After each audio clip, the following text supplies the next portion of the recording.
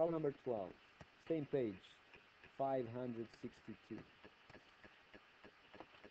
Find sine, cosine, tangent, right? I have a right triangle.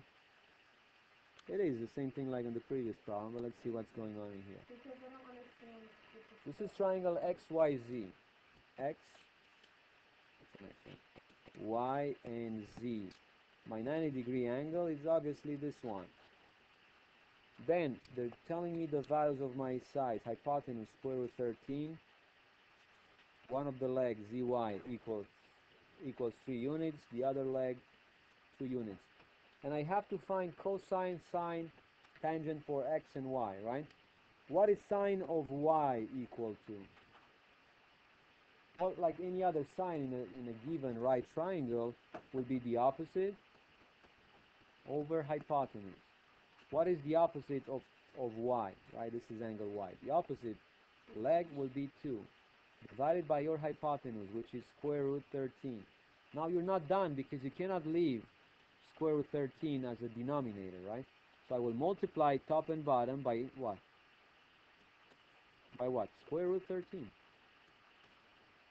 And this gives me top 2 square root 13 over what is square root 13 squared?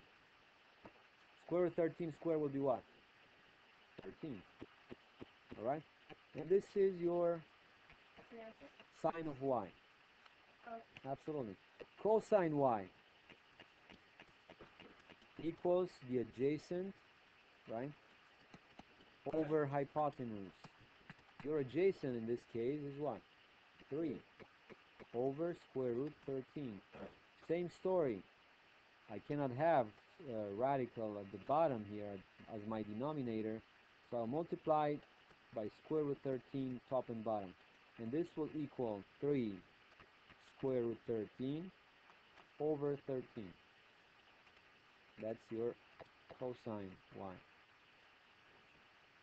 Tangent y, thank you, I know I am. Tangent, my dreams, right?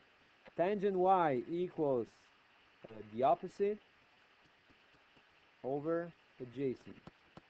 Also, you know, you will realize, and we'll, we'll, we'll talk about this, tangent of y is also sine y over cosine y.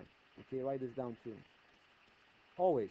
Because if you divide sine y by cosine y, you will get the opposite over the adjacent. So if you know sine and cosine, you can find tangent just by finding the ratio. In this case, knowing all the sides, I can tell you that is what? The opposite is what? 2, and the adjacent is 3. So my tangent for y of y is 2 thirds. Next one, you have to find the cosine and sine of x. Same approach, right? Sine x equals the opposite of x, which is 3, divided by hypotenuse, which is square root 13. By the same rule, you multiply by square root 13, top and bottom, and you find that sine of x is 3 square root 13 over 13.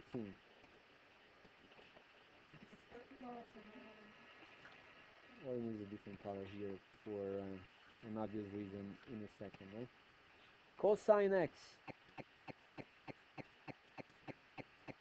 equals the opposite of x, I mean uh, the, the adjacent of x, right? Over hypotenuse, which will be 2 square root 13. And by the same, you know, um, procedure as last year, James, we have what? Multiply top and bottom by square root 13. How was that, right? Remember dinner for one? Oh, Same yeah. procedure? Same procedure as every year, James. Oh, 2 square root 13 over 13.